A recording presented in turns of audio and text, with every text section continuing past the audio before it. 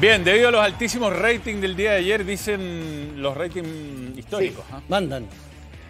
Histórico. Históricos. Eh, vamos a repetir la sección que tuvimos con Gon- Gonzalo Jara. No sé si tuvo la oportunidad de verla, profesor. ¿Cómo, ¿Cómo repetir? Es nueva esta. Pero se repite de ayer a hoy. Ah, la sesión. La sección. Ah, perfecto. Sí, vamos a mostrarle la foto del dedo de Jara. No. No. Bueno, fotos que tienen historia. A ver, ¿qué le emula a profesor Gustavo Huerta ver esta foto? Oh, Brasil. Ah, No me queda claro el Salgado, sponsor. Qué look. ese, Salgado, mira. Salgado. Sí, Salgado. Linda camiseta, ¿ah?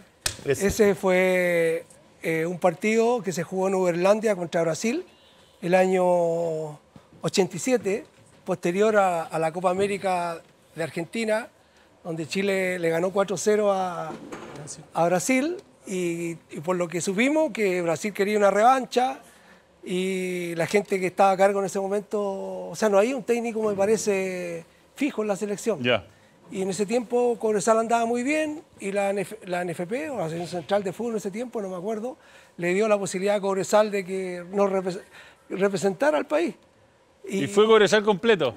Casi, Casi. porque hubo refuerzos. Fue eh, Mario Ben, me acuerdo, eh, Marcelo Ramírez, Ari Hurtado, Jaime Pizarro, eh, de los que ¿El. Mocho, ¿El Mocho Gómez no fue? No. No, No. no, Gran, gran jugador Salgado, ¿ah?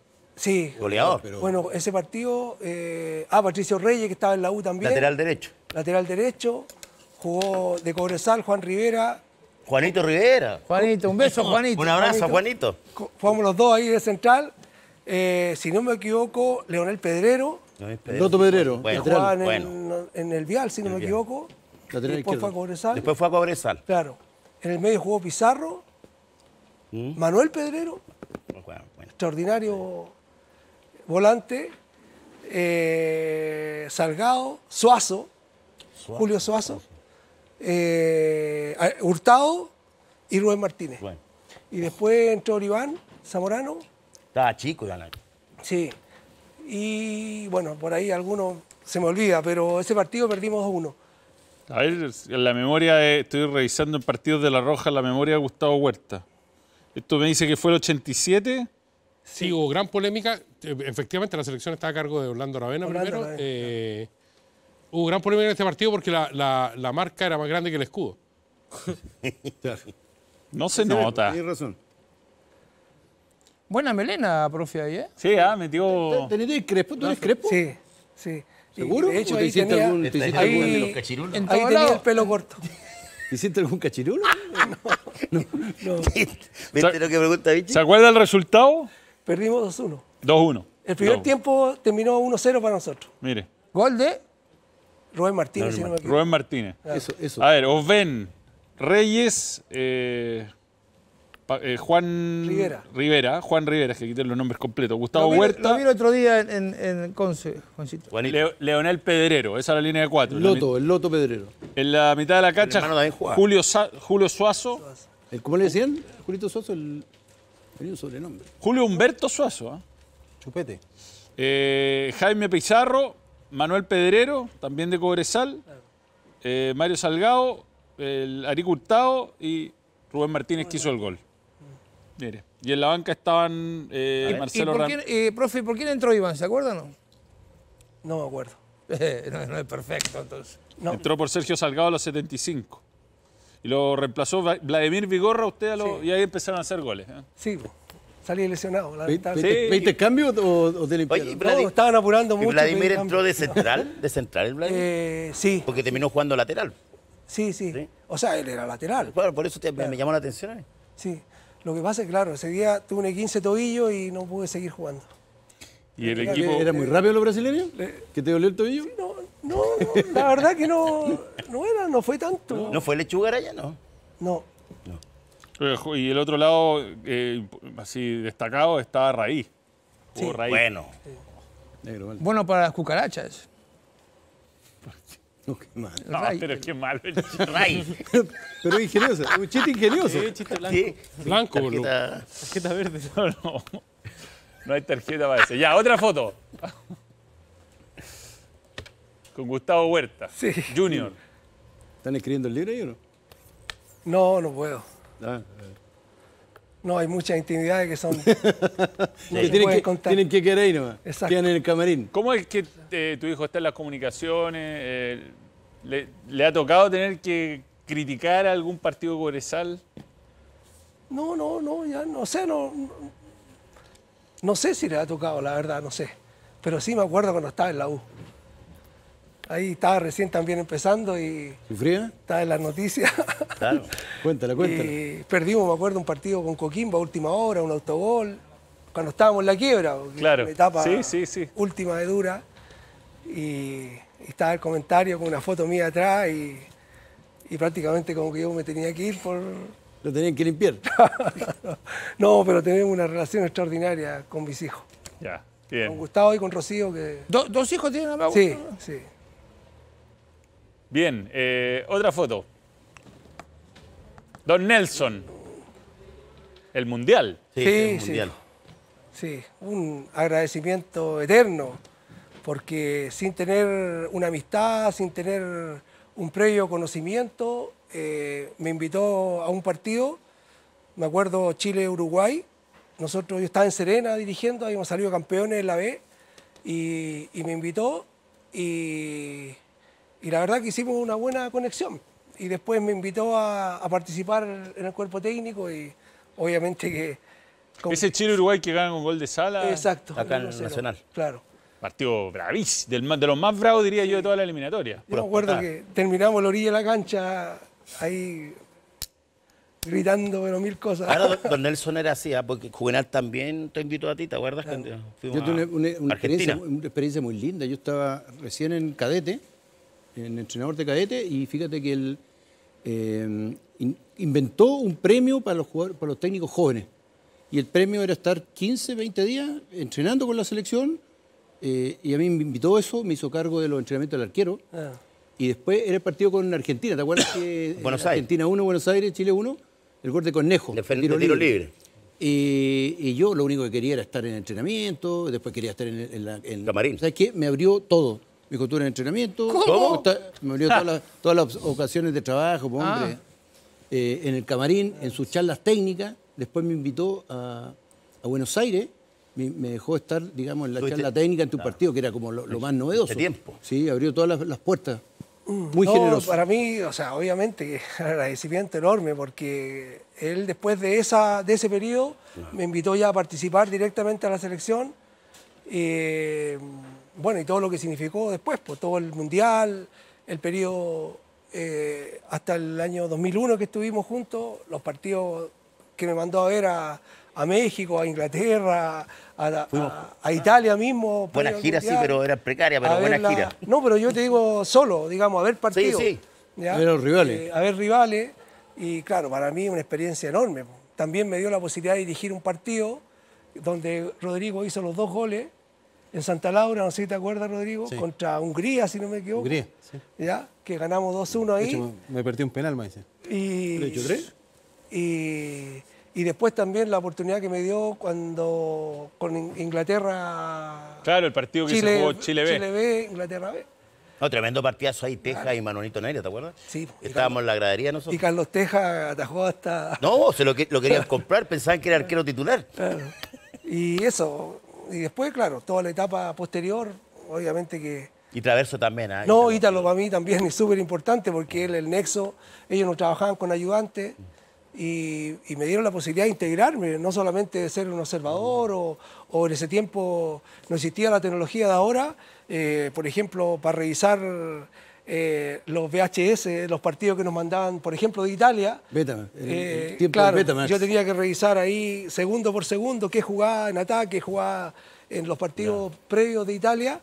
Y, y bueno, y, y en ese sentido, claro, yo de Nelson e Ítalo el agradecimiento enorme porque me abrieron puertas de que yo nunca Pensaste, me imaginé que podía, podía No, y los así. mismos compañeros allá, sí, nosotros éramos, éramos como amigos, y llevábamos Sí. muchos años jugando y nos conocíamos mucho tiempo. ¿Cuánto tiempo estuvimos antes que empezara el Mundial también? ¿Te acuerdas los partidos amistosos? Sí, sí. ¿Usted se metía a la ruedita que inventaron ellos? No. ¿Que don Nelson se metía? Sí. No, y, no. que- y A cuando, los le, tenis fútbol, cuando le hacían sí. 15, No, venía el- me pegaba codazos, los si se le olvidaba que era técnico. sí, ¿te acuerdas? Que me pegó un codazo a mí, sin aire. Una vez en la India, en Calcuta, eh, estábamos en, le, le- ¿cómo se llama? Le jugamos a, a, a Enrique y a, no me acuerdo quién era el otro jugador. Nelson Enrique. No, no, no, al central, ¿A David? a David Al de Enrique. Aicho.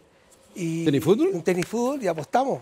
Un asado, imagínate, en Calcuta. Pero juega bien, ¿te fútbol, Gustavo? ¿Y? y Nelson no quería. Dije, no, Pero si en la India las vacas son sagradas, ¿dónde Por eso. Por eso. Y, y le. Ah, con Tito Tapia. Juega bien, los dos. Y, y les ganamos. Les ganamos ahí, estaba, pero. Se jugaba la vida. Pero la única vez que yo me integré a jugar, digamos. Siempre Ya. yo de afuera ahí arbitrando, otra cosa no. No, pero enorme. Yo creo que todo lo que ha dejado en el fútbol chileno, los campeonatos que logró en Everton, en Cobreloa, con Unión Española. Lamentablemente se nos enfermó Sí, pues. más que Lamentablemente. complicado. Pero fo- for- formó lo que pasa es que durante mucho tiempo, tú hiciste clase, Gustavo, durante mucho tiempo se decía que en Chile había escuela. En algún momento era muy clara la del Zorro Álamos con respecto a la de Fernando Riera. ¿Cuáles eran los técnicos que venían por un lado y por el otro? Juvenal recibió eh, la influencia de, Ignacio Prieto. Eh, qué sé yo, Pellegrini y Salá venían del Tata. Eh, Tú podrías decir que vienes de, de una cierta escuela de Nelson Acosta, ¿no? Yo me crié, digamos, eh, ya como jugador y, y siempre para mí fue, entre comillas, digamos, el que me incentivó a, a la parte técnica fue Manuel Rodríguez Araneda, ya que estuve hartos años con él en Cobresal y él siempre me daba mucha importancia respecto a, a- a lo que yo opinaba, ¿ya? de los rivales o de lo que pasaba en el equipo eh, en Cobresal. Y, y después hice los cursos en la época de Arturo Salá y ahora como muy estructurado y con Nelson aprendí a, a ser un poquito más distendido en muchas situaciones. No sé si escuela, pero sí que me ayudó a, no, a no ser tan estricto, tan grave, tan, no sé, eh, Tan dogmático.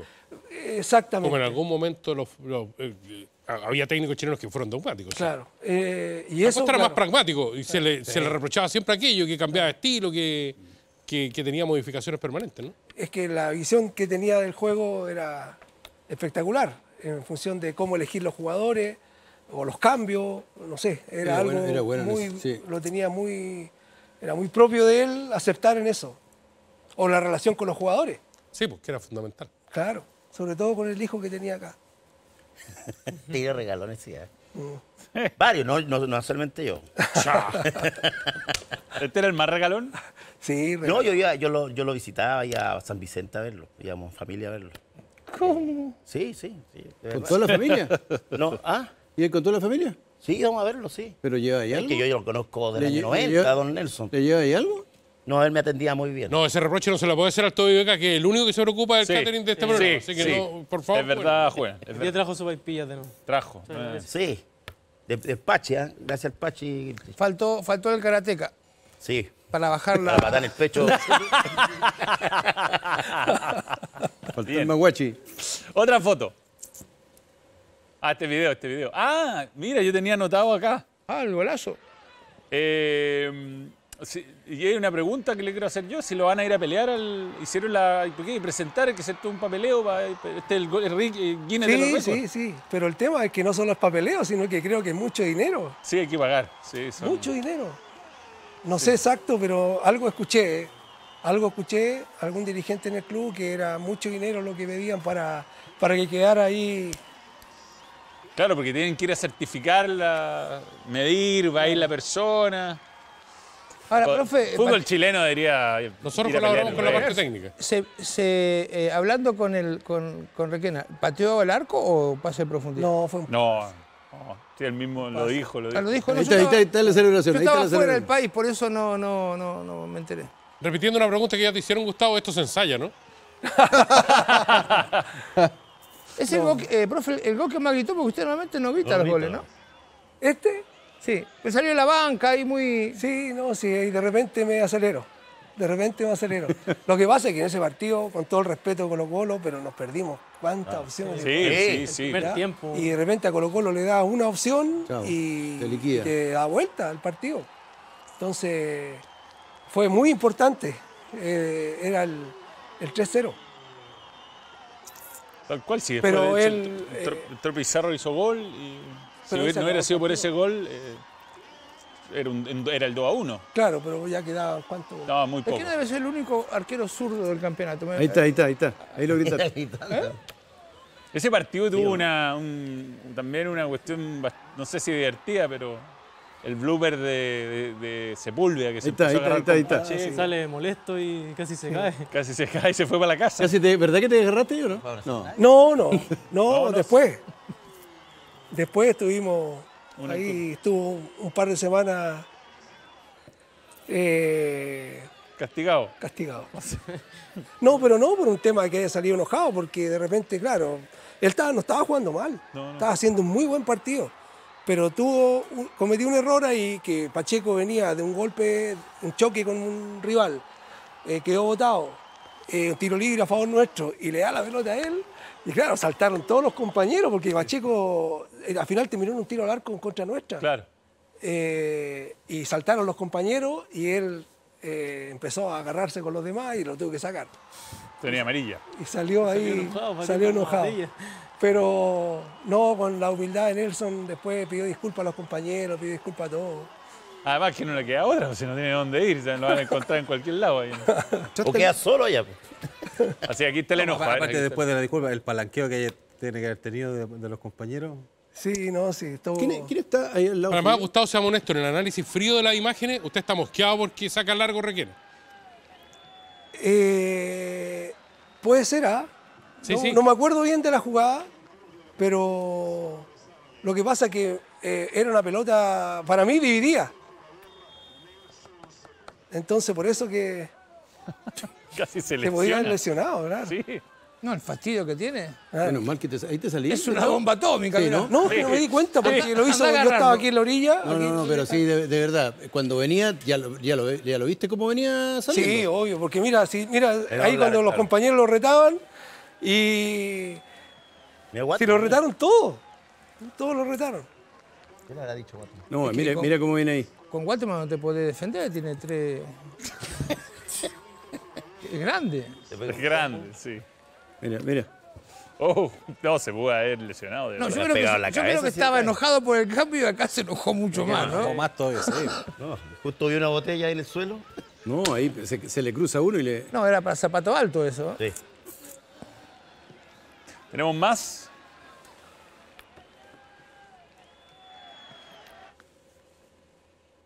La última, El Salvador. ¿Qué significa para usted? Uh, un agradecimiento, siempre digo, enorme a, a Cobresal y mi etapa de jugador y después como entrenador, que he podido desarrollarme muy bien. Eh, tengo obviamente el, cariño, el afecto del cobresalino, la respuesta obviamente que han sido de la mano con lo que uno ha entregado también. En mi última etapa llegué en, en octubre del 2017, yo creo que en la peor época en la historia de Cobresal está en la B, había descendido el, el semestre anterior de primera A a primera B y en primera B estaba en los últimos lugares, faltaban seis partidos y después, eh, claro, me llamaron y arranqué inme- inmediato. Profe, ¿hubiese, hubiese desaparecido Cobresal si Sí, categoría? no tenía ninguna posibilidad de, De ingreso. de, de resistir, estar en segunda división, que es la tercera, que no hay, no hay recursos ahí. No hay eh, eh, cada vez son por ahí lo- los socios eh, ya no son el aporte de antiguamente, Codelco tampoco. Hay algunos auspiciadores que son de Copiapó. ¿No qué? De Copiapó auspiciadores. Sí, claro, claro. Y, por- lo de Codelco, yo en Cobreloa entiendo porque hubo muy malos manejos. ¿Por qué Cobresal Es cayó que en la misma? incluyeron a todos. Ah. Incluso creo que O'Higgins también recibía por Codelco el teniente y también se... Cobreloa lo mismo. se- no, Cobreloa, claro. Sí, pero Cobresal se iba a cerrar la mina.